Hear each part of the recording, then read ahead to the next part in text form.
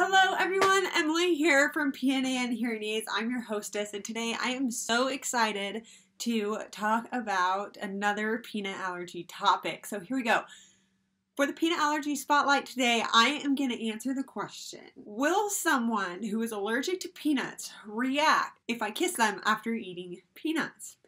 Good question. Short answer is yes. If you have eaten peanuts recently, refrain from kissing on the cheek or the lip uh, anyone who's allergic to peanuts. So, interesting story about me is when I was dating my boyfriend, now husband, um, I gave him a kiss and I started reacting. And I was like, oh my goodness, this is totally a peanut reaction. And I can't believe he ate peanut butter. So I just turned to him and I was like, did you eat peanuts? And so he just started going through everything that he had eaten that day.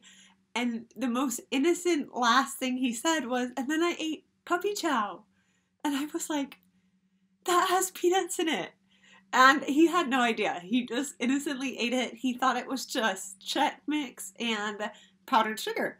And so we had to run home. I realized I did not have my EpiPen on me, which was just so not smart at all. So we ran home. It was near bedtime, and so I chewed up four Benadryl. There was a concern that by having taken so much Benadryl, I would fall asleep and potentially pass away in my sleep because I had taken so much. So they wanted to ask my roommates if they would wake me up in the middle of the night. We decided that my roommates had tests and things that were going on that they wouldn't be able to do that. So my boyfriend literally stayed up all night with five hour energies watching me breathe, like making sure that I was staying alive as I was just like passed out on my mattress in the living room. We had like drug it out and put it in the living room so that there was more space. Um, and so that my roommate could like sleep in her bunk bed. But it was intense and it all came from one kiss. I have a pretty severe allergy and we weren't sure if I would need to go to the ER or if we need to administer an epi. It really just was my lips were feeling funny and I felt like I was going to start reacting. So we chewed up the Benadryl. So I chewed up the Benadryl right away and luckily it kicked in and it helped. I ended up going to bed around 10 p.m. I didn't wake up until 11 a.m. the next day, and my immune system was just shot for like the next couple days because when my body goes through a reaction, it just exhausts itself in fighting this foreign protein. So I have additional examples of things I've seen on Facebook. Parents have posted pictures, you know, can my child react from getting a kiss from her father? Yes, that can totally happen.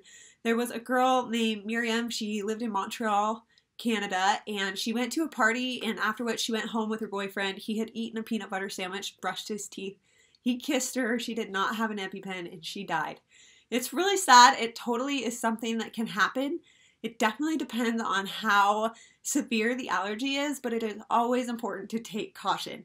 Um, I totally wanted to research this more, so I found another study. This study was done by the Journal of Allergy and Immunology Clinic. They took 38 people and fed them each two tablespoons of peanut butter. Then they me measured the protein to saliva content hours down the road. As they measured these saliva contents, they realized that the best way to avoid a reaction with eating peanut butter and saliva transfers is through eating a meal several hours later uh, that does not contain peanuts and then brushing your teeth. They just said several hours is recommended in addition to eating a meal and brushing your teeth. But if you eat a peanut butter sandwich, you brush your teeth, that will not it will not be effective. You can still cause someone to react. So, my husband and I, our rule is if he eats peanuts, we wait 72 hours to kiss. I know that sounds crazy, but 72 hours is an ample amount of time for him to eat enough meals and brush his teeth enough that we are very sure that the protein is out. So, he only eats peanuts if he goes on a week long business trip or is away from home for business for more than three days.